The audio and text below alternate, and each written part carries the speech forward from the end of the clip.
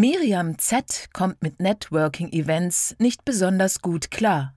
Auf einem Get-Together bei einer Messe beobachtet sie, wie effiziente Profi-NetworkerInnen ihre Kontakte pflegen. Die Effizienten geben einem das Gefühl, dass man interessant und wichtig für sie ist. Routiniert und geschickt finden sie in kurzer Zeit heraus, ob es sich lohnt, jemanden näher kennenzulernen. Sie checken ihn und sein Potenzial mit gezielten Fragen.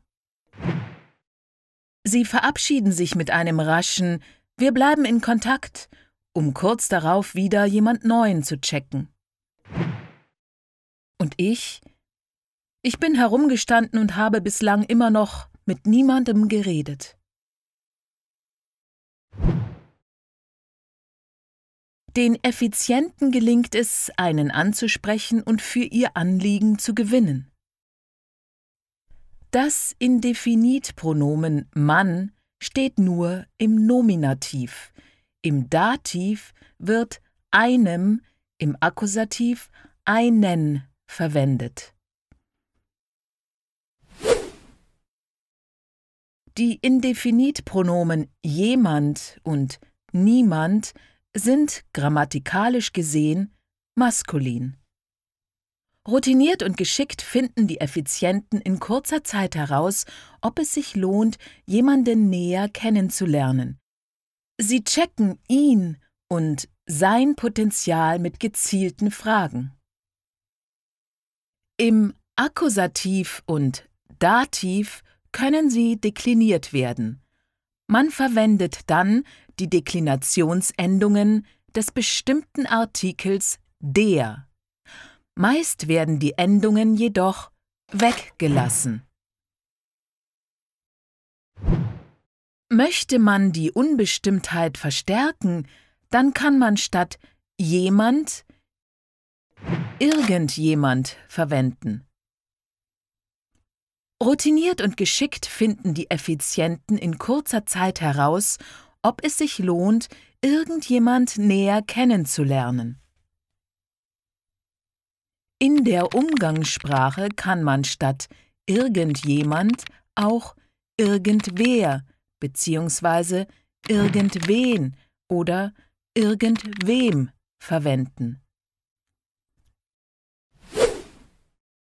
Jemand, irgendjemand und niemand können mit einem substantivierten Adjektiv kombiniert werden. Das Adjektiv wird dann dekliniert.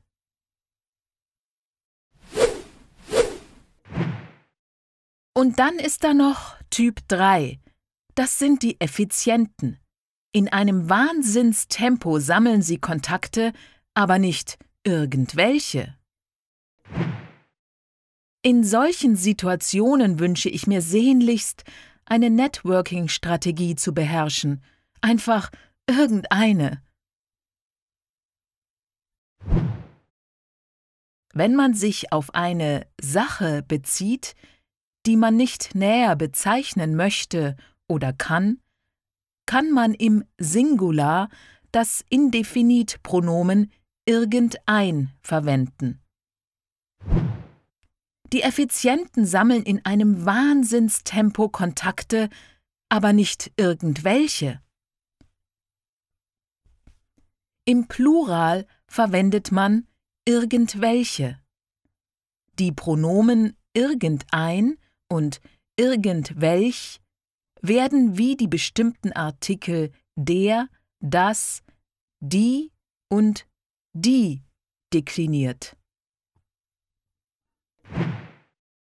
Ich stehe herum und warte darauf, dass mich irgendeiner anspricht.